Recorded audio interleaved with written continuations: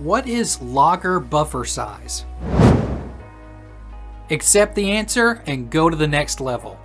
And don't forget to subscribe and hit the bell notification. When recording audio into your computer, your sound card needs some time to process the incoming information. The amount of time allotted for processing is called the buffer size. Oftentimes, a smaller buffer size is desirable, however, not one that is too small. Enter the realm of knowledge.